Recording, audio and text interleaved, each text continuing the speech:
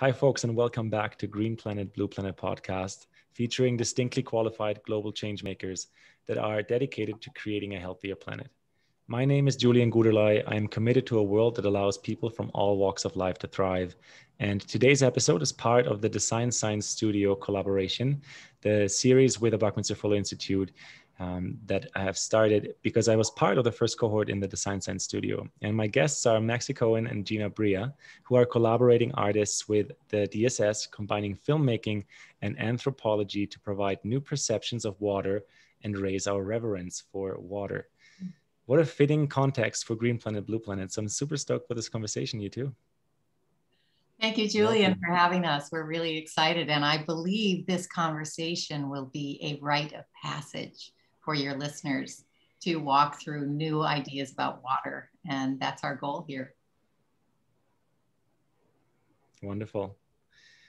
Let's jump right into the water then. Let's let's uh, let's get our feet wet. So, tell us a little bit, you two, about like what was the origination point for for this a movement in water.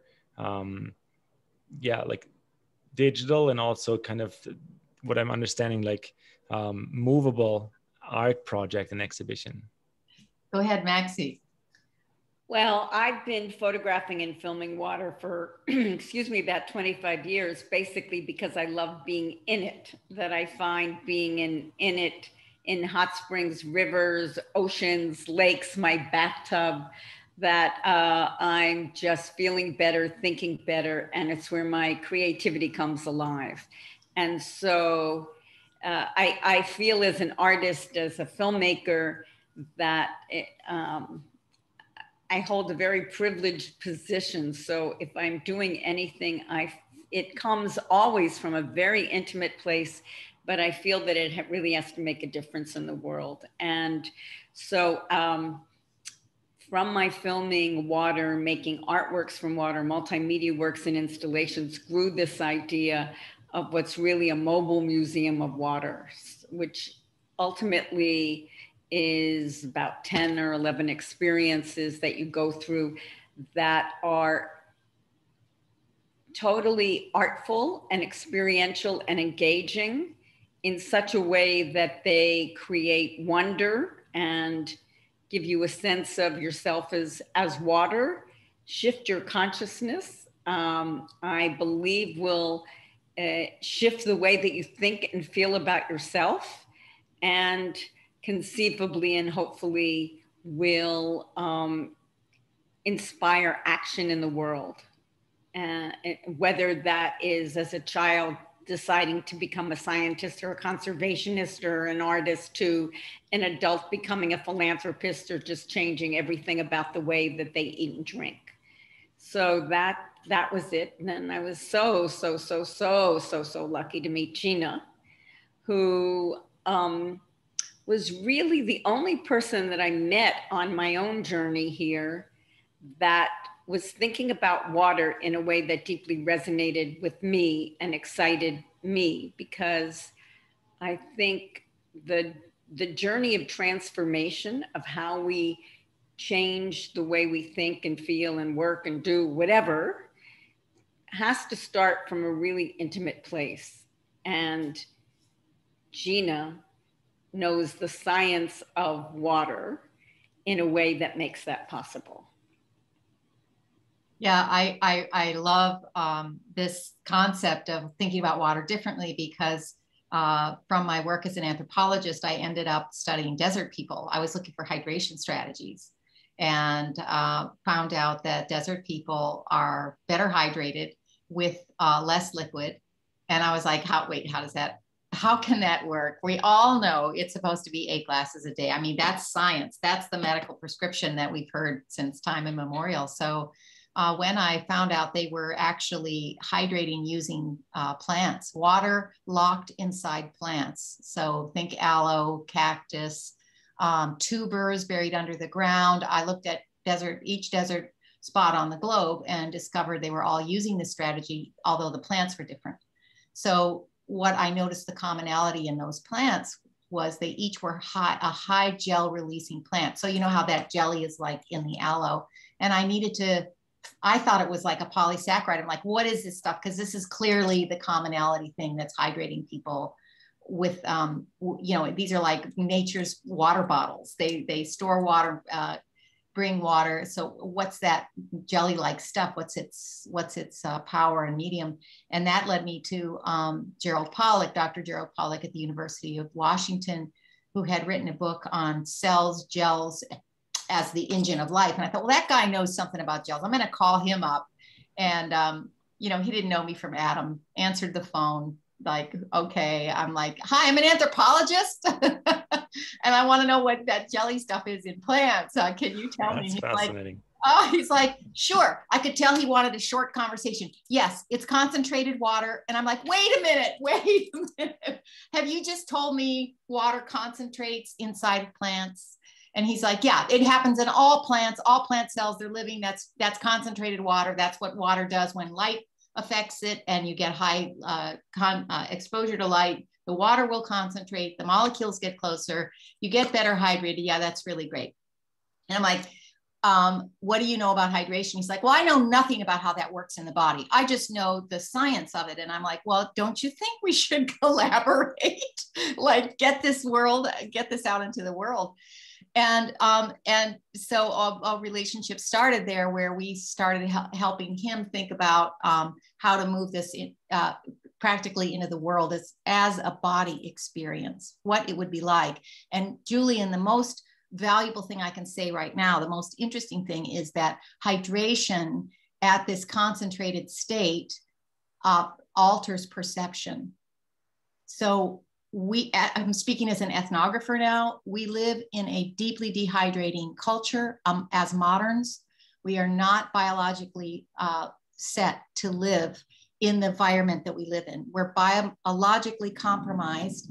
We're all dehydrated even if we're drinking eight glasses a day because the water that we are drinking is not this concentrated form. It's broken up by water treatment or being uh, pressurized through pipes. So in, our industrial society has interfered with water's natural synchronicity to move through this states from liquid, vapor, liquid, and then this jelly-like concentrated state, and then onto ice if it's cold enough.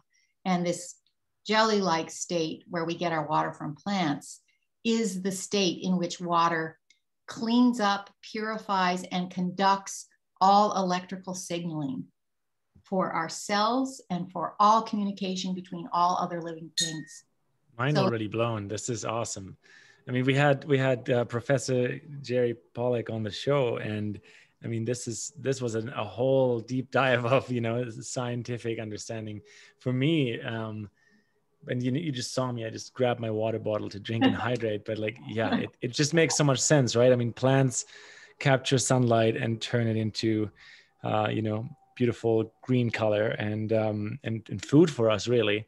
And yes. so the same happens with water inside of plants. It concentrates in a way that the electric signaling is actually made for our bodies.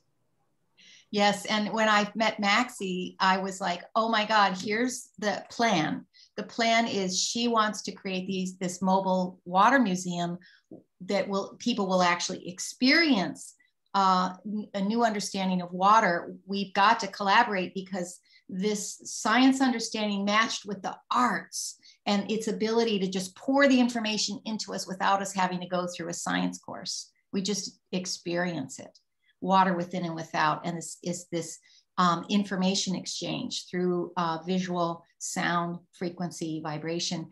And if we can make that museum pop up in all different kinds of iterations all over, um, wow, what a beautiful, as I said, rite of passage for people to begin the journey, walking through the open doors, coming out on the other side, experiencing themselves as a vibrational creature made of water molecules, which is how wonderful. Yeah, absolutely. I mean, we are we are water beings on a water planet, which is literally one of the reasons why why I call this this podcast Green Planet, Blue Planet, is to continue to kind of point at the the magic in water without necessarily knowing all about it myself, but just intuitively understanding that if we are up to 90% water in our bodies, then um, maybe this is you know how, how the consciousness talks on our planet Um, really excited to dive a little bit deeper there before we talk about the Design Science Studio. So, what's the plan with with this tour? You're going to have a multimedia exhibit and also a physical kind of event tour.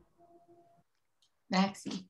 Well, the idea in, in which we are working on is to have. Uh, excuse me. And wait, hold on. Uh, there we go. Uh, have a glass of water. Her glass that, of that fits the context. uh, Yeah. the idea is to, uh, we've designed it to have these experiences be in huge droplets of water. So from the outside, it looks like kind of a cathedral to water.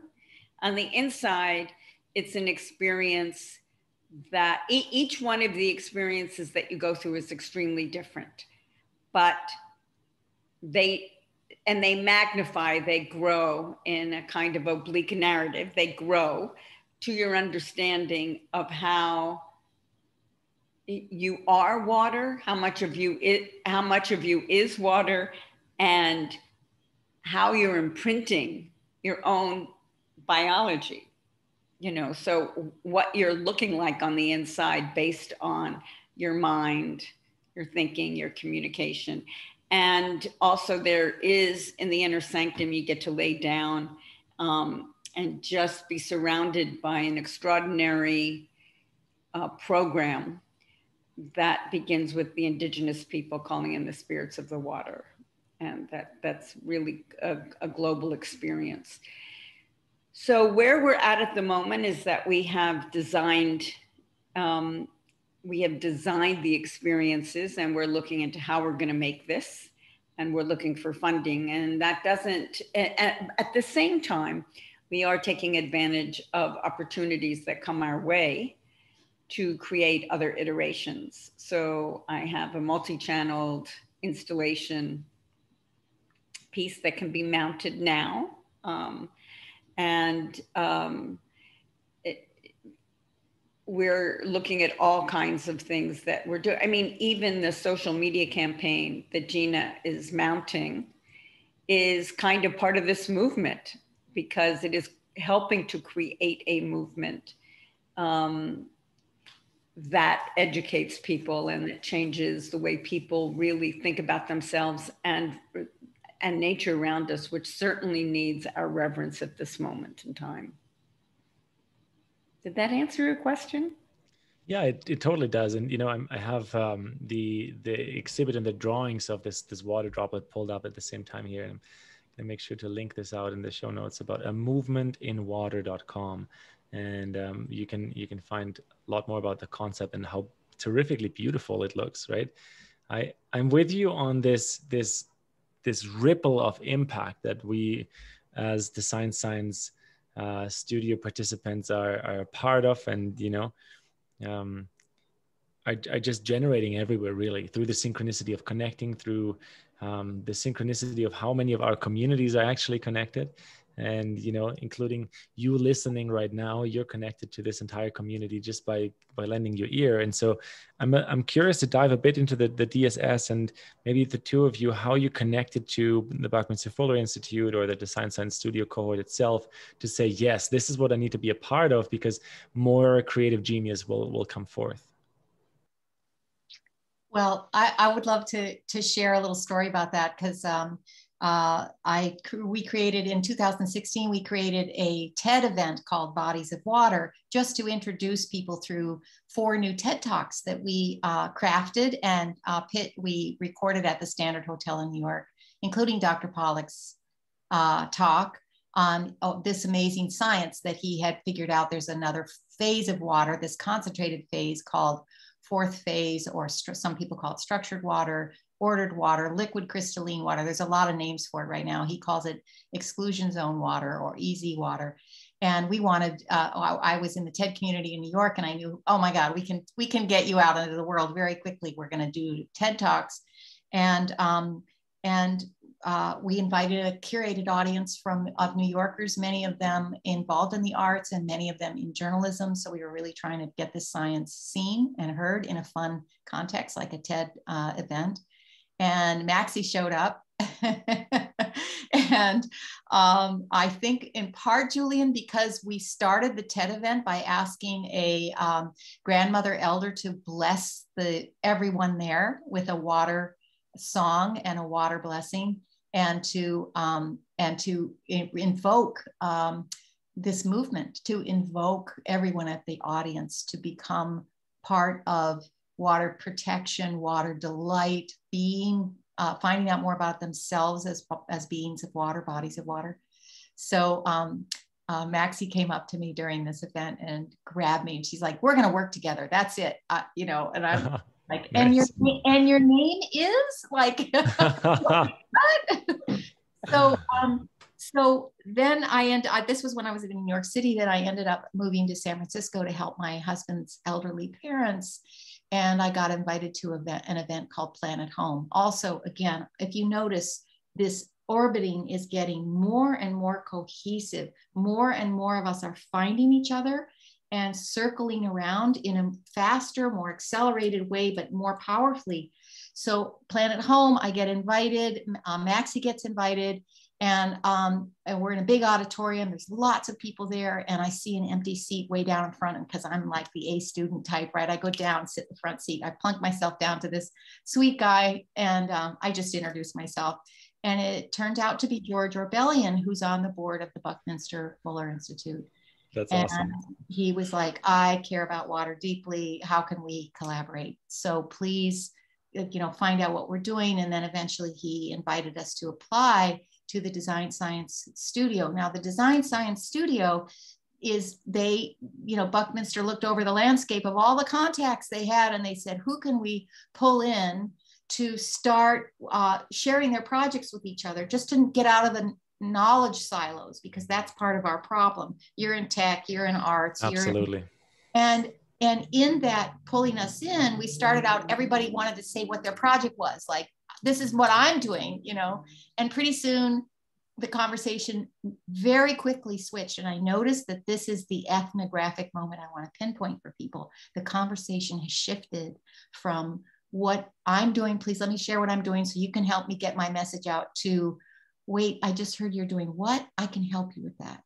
I can help you with that. So the lofting of collaboration, spontaneous collaboration. It could be a five minute introduction. It could be a, I can fund that for you. It can be a, I know what kind of projector you need in a dome.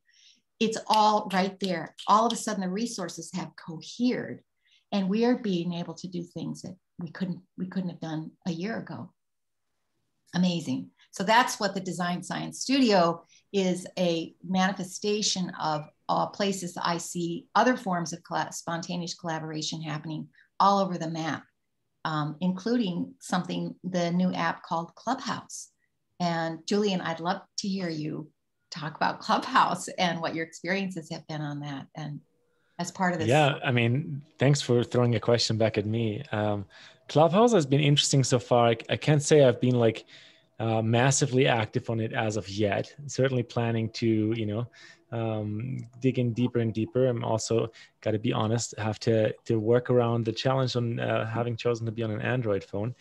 Um, mm. But all of this is always solvable. What I'm experiencing on Clubhouse, to answer your question, is it's a place of similar to what you said, Gina, like these silos of information can suddenly kind of start hopping in between, or silos of conversations are now publicly visible and people can start hopping between conversations and kind of cross pollinate ideas understand what this interest group might be talking about understand what is synchronistically being talked about over here.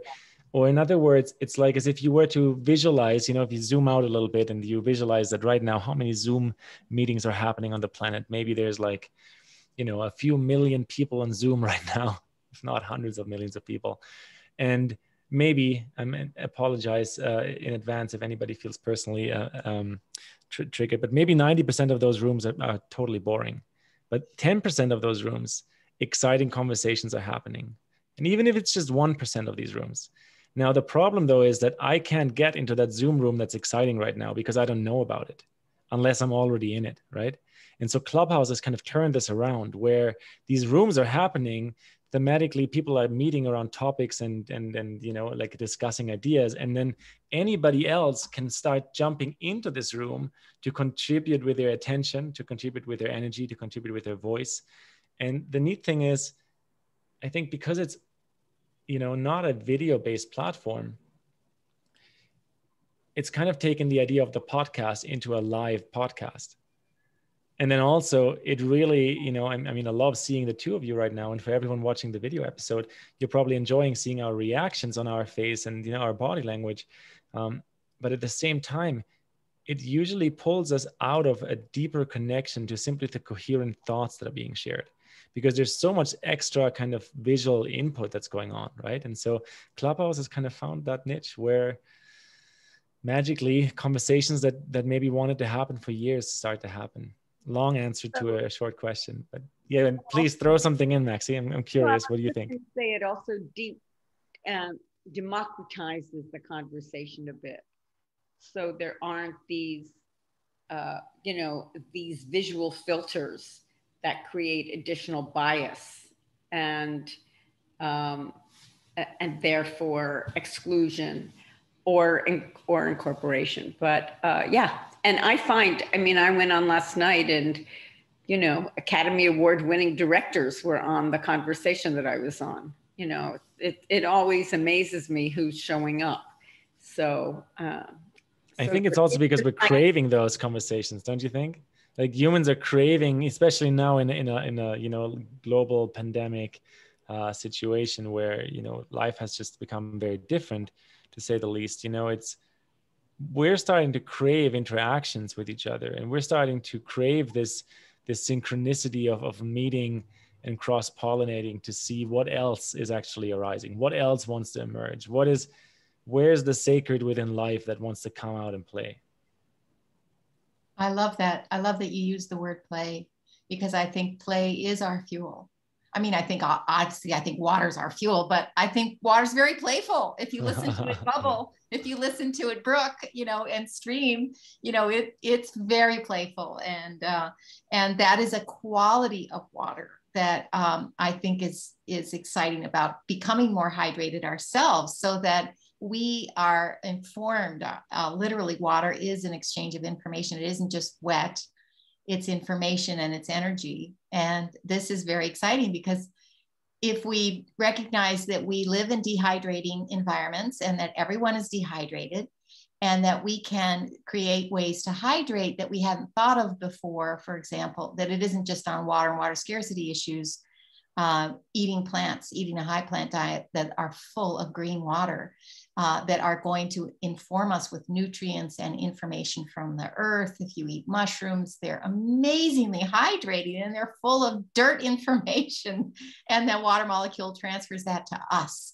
So these are really cool ways to get ourselves rethinking what that water is doing in our body and um, and listening to each other, uh, listening to the verbal of each of us. You know, I happen to think that a um, hearing something through your ear, you know, conversation is an incredibly confessional and intimate form. And um, and when we have a chance to just listen to each other, a lot is that what a huge amount of information is coming into us through vibration Absolutely. frequency. It's it's wonderful. And we are starting, water is starting to spin us faster and faster and accumulate information and package it in new ways we really are in a completely new environment. And the pandemic itself changed our experience of space, both through isolation and now space is going to become the new invention, new kinds of spaces. And that's really fun to think about. Indeed, I'm, I'm going to let that sink in. I like I like that invitation to think about new kind of spaces. And there's one of those concepts that came up for me in the the Science Science Studio quite a lot is ontological design, the kind of you know intentful design of spaces for states of being. now talk about you know your exhibit again where that's kind of the, the, the principal foundation for people to experience themselves as bodies of water primarily right um, maybe we can dig a little bit about kind of the vocabulary that's that's kind of you know surfaced in the design science studio because it seems to be a very um, common red thread in this interview series that there there's a need for new language and then there's a need for very intentful language that allows us to to create experiences and um, exhibits that that allow for a state of being rather than just for you know an instagram photo. Oh boy. Uh do you want to talk about that gina well i i know you're the master of it maxi which is um, creating uh, visual information uh, that speaks directly to our, our heart and soul uh, through the eyeball, but also through vibration and sound. Sound and movement are essential to the water molecules' ability to transfer information. And so the conversation about new language is a very important one. Um, I think in the design world in particular, where we like to talk big words like ontological, which gets scary. You know, it's a big word. uh, I happen to love the word ontological. Um, and I would just love, like, I can tell I'm going to walk around today just singing ontological, ontological, you know, ontological. it's just going to be like a little tune in my head.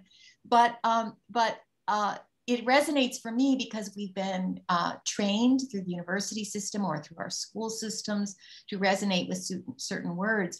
And for our future and to create a future we haven't seen before and dismantle, not even dismantle the old um, that we need to, we just need to flow past it. We don't even have to dismantle it. It's just going to disappear in our wake as we create new languages. And a lot of this language is going to be excitingly visual and auditory and also if we can help make it very plain, clear, clean, plain, simple language, um, we're going to be golden. I, I will tell you now that I've had a moment to think that um, what we're trying to do is create a new visual artistic experience and because it is totally artful, takes up a huge amount of space. Unfortunately, is expensive. And because it is an artful experience that speaks to science, they're not really, I'm not going to say any, because I'm sure there's some that I don't know of precedents which makes it very difficult. Like even in my fundraising, is this art or is this science? And to me, I'm I'm saying it's art because people who are just interested in science would not say it's science. You know, they wouldn't say, "Oh, I see the science here. This is not how we communicate science." And yet, what is being communicated is such a uh, is such a wealth of scientific information experienced in a way that it lands. Like I imagine when you heard the earth was round after thinking it was flat for centuries and centuries, it was hard to buy into it because it, you couldn't see it differently. So, what this is aiming to do is give you such a deep experience that you get it and and that is new. There aren't you know i've uh, my work is in museums all over the world. I've i've you know look i've always had this problem of being on some kind of hybrid edge. You know i got shown in museums for a while and then i think i wasn't um, uh, uh, esoteric enough you know? Um, and so then that happened but then it was very hard to, for me to do television because i wasn't commercial enough. And and so i've always kind of been in these sort of on the edge of of these forms the documentaries that i've made um, that just because they and i'm here again trying to do that just because the what I'm communicating deserves a different form to be able to really be felt in a catalytic way, I I have pushed form. So the forms of my films have been noted for being a breakthrough in form because they weren't done that way. Well, they weren't done that way before because I they needed to be done that way to, to get what I'm communicating. And so this is true of this as well. To be able to communicate these ideas, what we're creating necessitates this kind of visual language, this kind of experiential language. And so that's the that's the thing that makes it really exciting, makes it really fresh and innovative, and at the same time makes us makes us uncertain where it's going to get funded and how it's going to land. Because the best thing would be that it would be a collaboration of both civic cities and educational institutions and art foundations and art institutions and it, it, it really is there to address science, art, technology, education in a new way. And so it would be great to have the, the support and the labyrinth of what those institutions can create. And that yeah, including community gardens and um, and faucets for clean water for the community.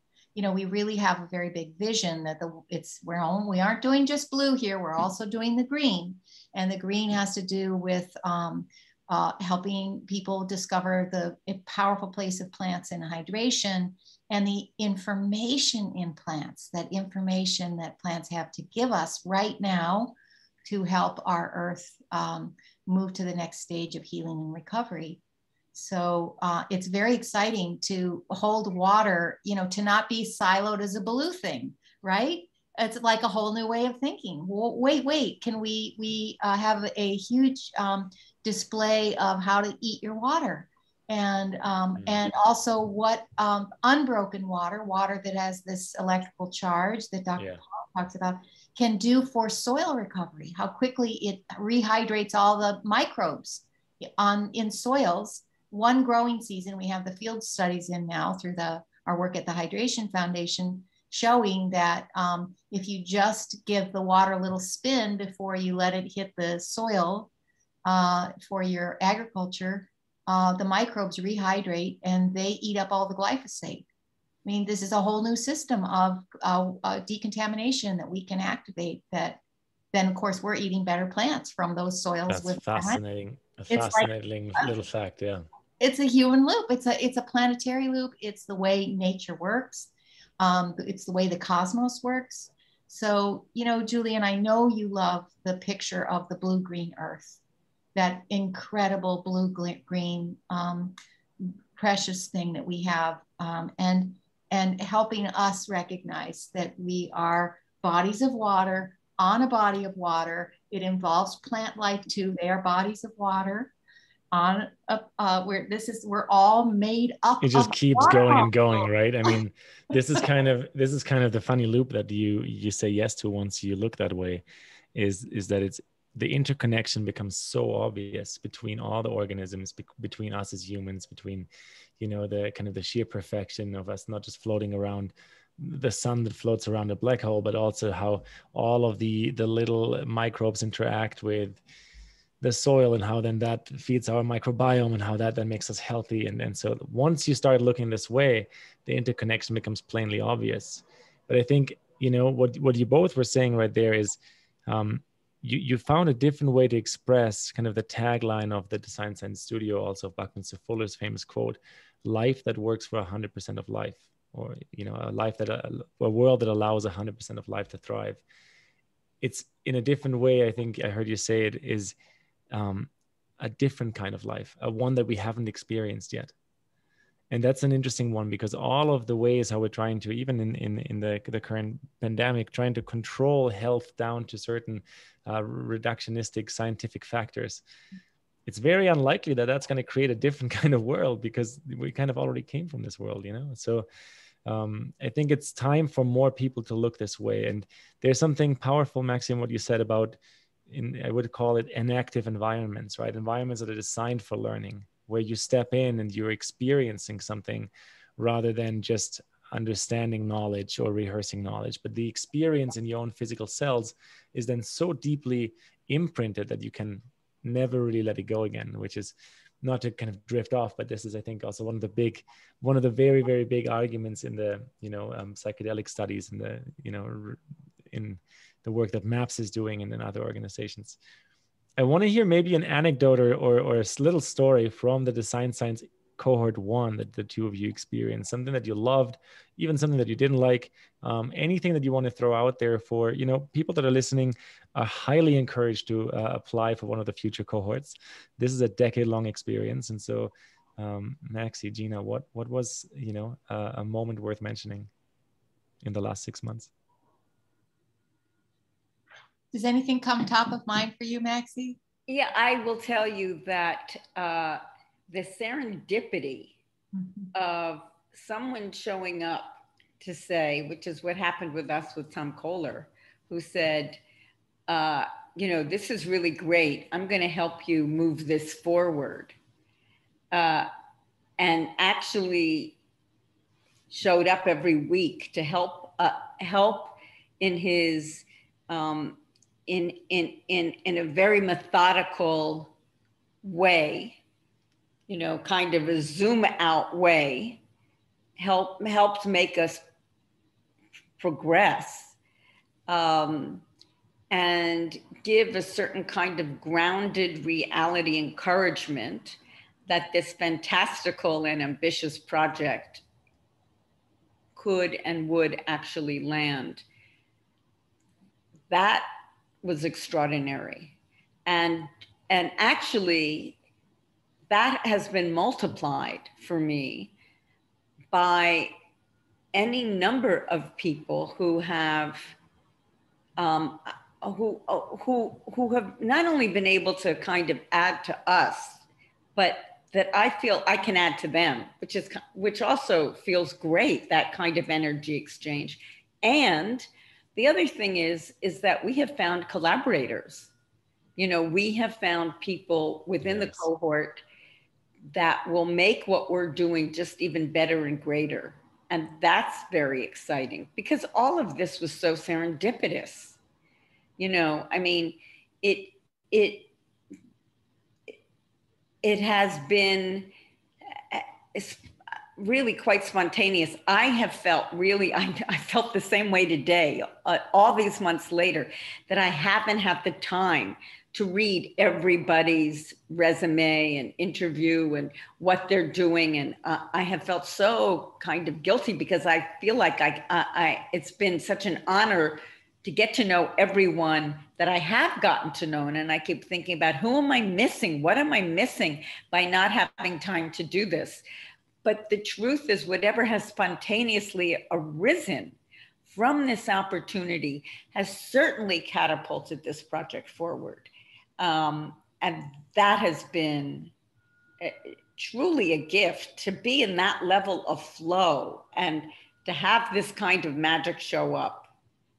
That's that's really that's really been great. And for me, also, I'm I'm older than a number of people that are in the cohort, and it's been a gift to be able to see much more of the future and be pushed into that future. Uh, and so, uh, you know, it's been hard for me to kind of visualize what we're doing in the virtual world. And now I realize, you know, one has to really consider that. So it's been a gift on so, so many levels. Exciting. I'm going to definitely double tap on the fact that there is this increased amount of flow and, you know, kind of moments of spontaneous collaboration where you suddenly find yourself in a breakout room with like three to four to six people and you're like who are these people? And then 10 minutes later you're like oh my god these are the the friends i always knew I, i'm going to find someday you know? And and suddenly there's there's somebody who's going to collaborate with you right. on uh, a project or on a passion project or on your work or whatever it is. There's these these moments of human ingenuity you can't really engineer for them but you can create space for them to happen when people show up for who they really are. Uh, Julian, I want to make sure that your listeners know that this is all open. they are invited to come near and orbit with us. Anybody can uh, join. Uh, the, there's uh, there's sessions with um, astounding thinkers. There, it's all up on YouTube. Um, anybody's willing. This is the this uh, conversation around space that I mentioned. With with the pandemic, has changed our sense of space. So a lot of walls have fallen down. Where it's not like an exclusive group that you've got to get into anymore.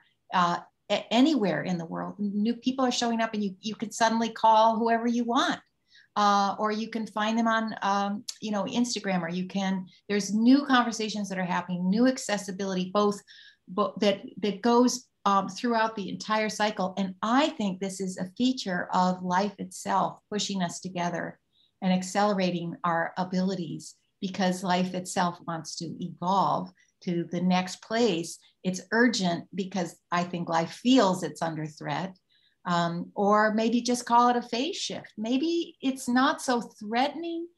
Maybe it's just how we're going to get this next level of evolution done that will take care of a lot of the problems that have shown up to as the pressure that gets us to the next um, the, the you know the stresses the hormetic stresses on, on the planet that move us into um, new evolution and i think bio, thinking about it biologically like that is great, but that's abstract. Let's tell people, you know, come find us online.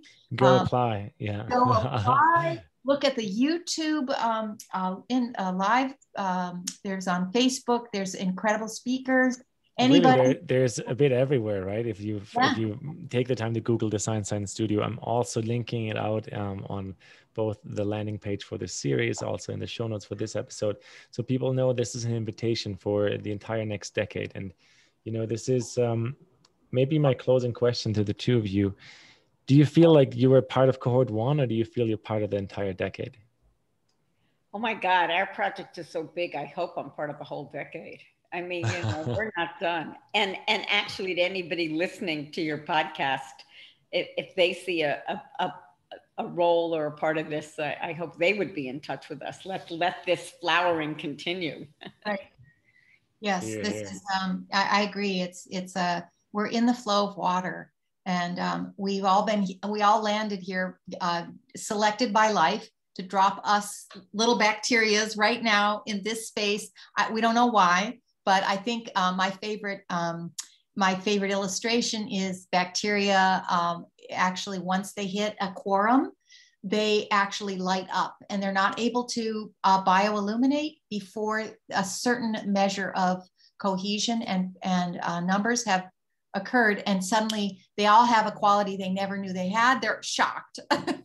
They're shocked that they can light up. Uh, but only because by nature, um, once you have that quorum, uh, completely new qualities emerge. And I think that's where we are in the evolution of, of life and nature right now. It's a very exciting time. May so, it be so. I love that. That's no. a great example. That's a really great example.